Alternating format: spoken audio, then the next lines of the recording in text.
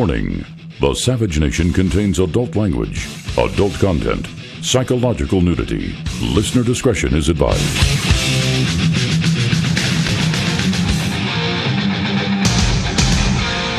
And now, America's most exciting radio talk show, The Savage Nation, home of unprotected talk, borders, language, culture. And here he is, Michael Savage. It is true that Iran lives up to its commitments. It will gain access to roughly $56 billion of its own money, revenue frozen overseas by other countries. But the notion that this will be a game changer, with all this money funneled into Iran's pernicious activities, misses the reality of Iran's current situation, partly because of our sanctions. The Iranian government has over half a trillion dollars in urgent requirements, from funding pensions and salaries to Poor paying people. for crumbling infrastructure. Iran's Poor leaders people. have raised the expectations of their people that sank this revenue to go into spending that improves the economy and benefits the lives of the Iranian people. Well, you heard it. And of course, you know it's all a lie. Obama means to build up Iran and to crush Israel. Welcome to the savage nation. There is only one intent from this Muslim in the White House. Oh, did I say that? I'm so sorry. I didn't clear it with George Stephanopoulos or ABC News. The Muslim in the White House, or the Muslim sympathizer in the White House, the sympathizer with Iran in the White House, Iran's man in the White House, however you wish to put it, is overriding all of Congress. Remember what I just said to you. The majority of both houses oppose this deal, but this petty dictator, this dictator in the White House is, is forcing the deal through the same way he forced through so many of his other left wing fanatical planks. So you say, what can I do about it? Nothing. You can throw your hands up and say, what can I do about it? That's all. Now, there's a story that's somewhat related, but not directly related. A dumb basketball dribbler by the name of Kareem Abdul Jabbar, whose real name is Lew Alcindor, who became a black Muslim at some point in his, in his evolution. This dumb basketball dribbler is suddenly an expert on the news. He became Einstein. After spending his whole life throwing balls around on a wooden floor and aiming for hoops, he is now a political scientist. He attacked Trump and he called Trump an enemy of the Constitution, and he called Bernie Sanders uh, a wonderful shot man. Now, what's interesting here is that this Einstein fears an American nationalist like Trump, but supports a weakling anti American socialist like Sanders, as you would expect. Do I need to say any more? Another topic I want to talk about is what does Trump's loyalty pledge really indicate? I'm a little skeptical. Just a teeny lip, a teeny skeptical. But if you're not interested in Trumpomania right now, I'm also going to talk about some research we did on who is going to profit from the Iran deal. Wait till you hear the names of the profiteers. That's right. Oh, on both sides of the aisle. Oh, there's some Republicans there for sure. Who will benefit from the Iran deal? You think that there's no money at stake? You're telling me there are no Republican so-called businessmen who have lined up to do do business with the Hitlers of Iran? Are you kidding me? Well, we'll talk about that.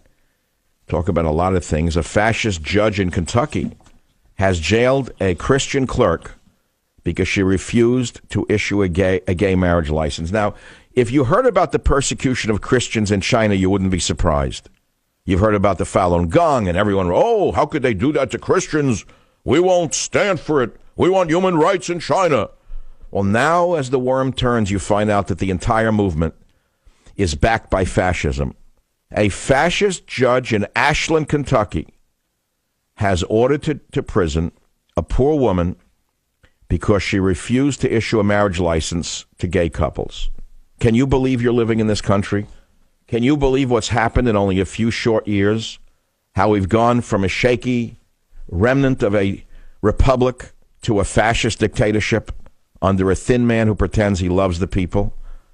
What else do I have for you? An awful lot of things. How about a joke since it's almost Labor Day weekend and nobody wants to hear about an Einstein who dribbles basketballs or clerks who are in prison because they believe in God and Christianity? No, you don't want to hear about that. It's, it's almost the weekend.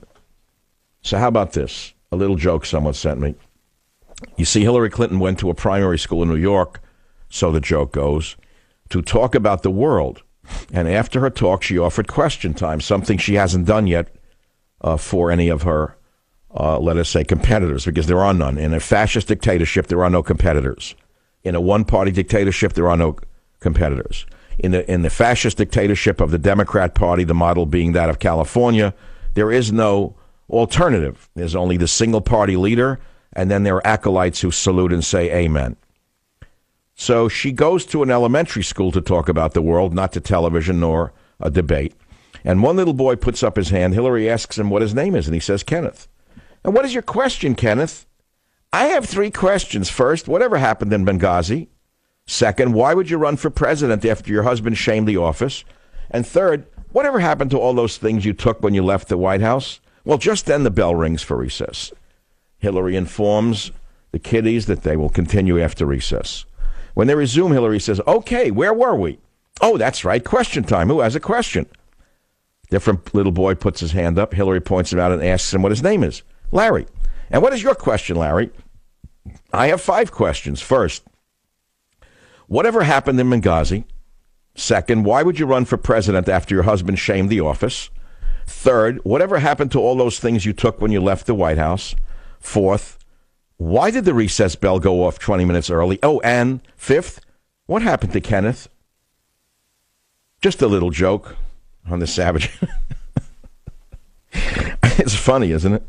Now, why are such jokes circulating on the internet? Because she's the most trusted woman in the history of. Uh, I don't know of what, Bulgaria? She's the most trusted woman in the history of the Ukraine.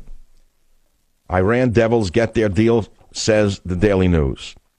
The die is cast, they write, President, oh, shameful, will ram his Iranian nuclear deal through Congress despite majority opposition in both the House and Senate. Now what? No, now worry, worry, worry a lot, they write. Although the fight is lost, the Senate owes the people an up or down vote on one of the most consequential foreign policy agreements in decades.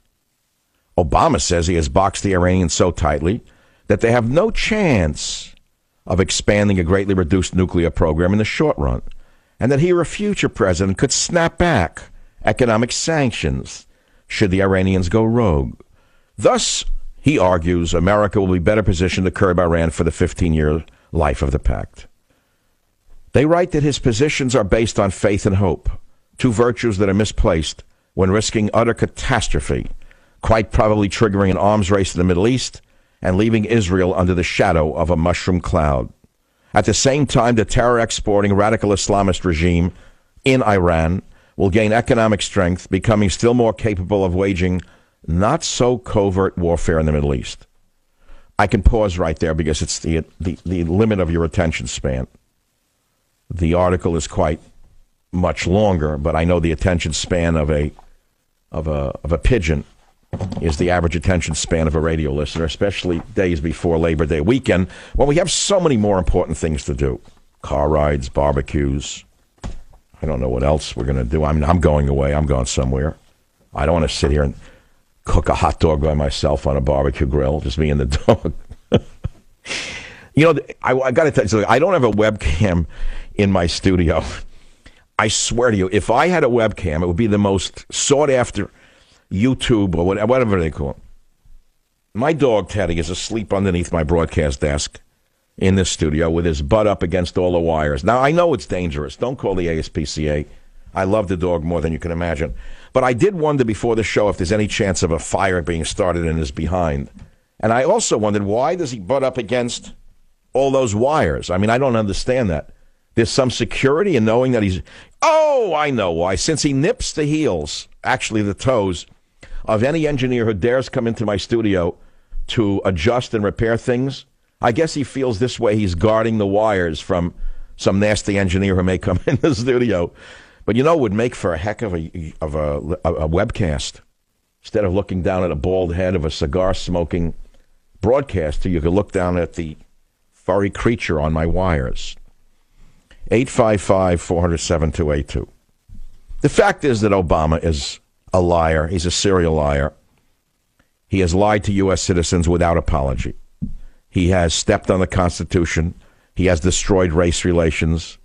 He has attacked Republicans, telling Hispanics to punish them.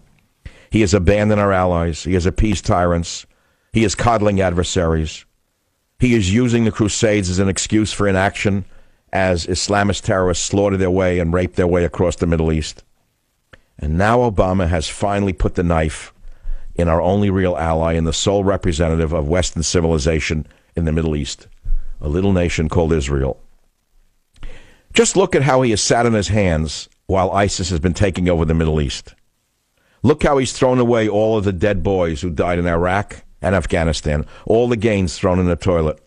Look how he has crippled our military. Look how he has crippled our foreign policy. Look how he has weakened our economy by printing money. You think the economy is doing well? Are you sure? Your health insurance will be up hundreds of dollars a month.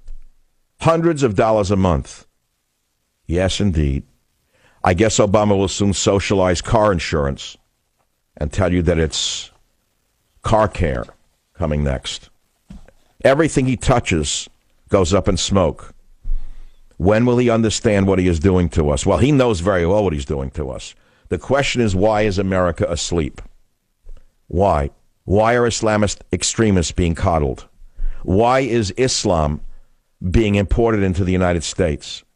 Why? Because he promised to fundamentally transform America. And he is in the process of altering not only America, but the entire planet to his perverse vision of rule by a Stone Age totalitarian theocracy. As I said, if I were a psychiatrist, I would tell you that this diagnosis is critical. He is a psychopath by any definition. But since most Americans don't know the difference between psychopathology and their own pathologies, there's no point in talking about it. Who profits from the Iran deal? Who are the corporate winners from the nuclear agreement? I actually have their names. And you'll be quite surprised to learn the names. If you care to join the conversation, the phone number is 855 400 7282.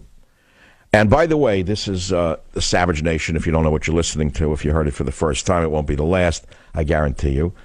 I'm expecting a guest in the next hour on a subject that's dear to most people in America, which is antidepressant medication. He is a world leading neurologist and psychiatrist.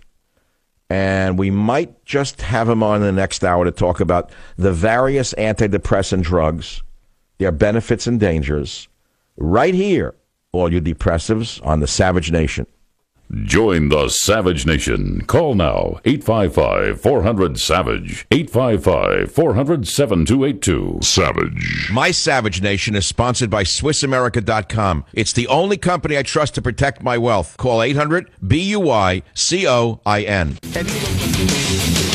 I'm not going to repeat the topics that I introduced in the opening to the show because it exhausts me, and I'm sorry if you missed the opening of the class.